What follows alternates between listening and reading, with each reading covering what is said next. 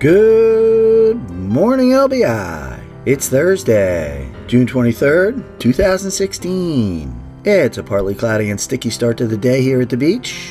Currently 72 degrees, with a wind from the west southwest. We're going to have a partly cloudy, thunderstormy type day. High 73, low at 66 tonight. We got a sunrise 5:30, sunset 8:28, and we've got 90% of a waning gibbous moon tonight. There's a knee-high south swell sweeping onto the sandbar this morning. We got a high tide 10:12 a.m., low tide 4:06 p.m., and the ocean water temperature is down to about 60. So come on down to the beach. Get those toes in the sand. Stay above the weather and enjoy this Throwback Thirsty Thursday on the beaches of LBI. Have a great day.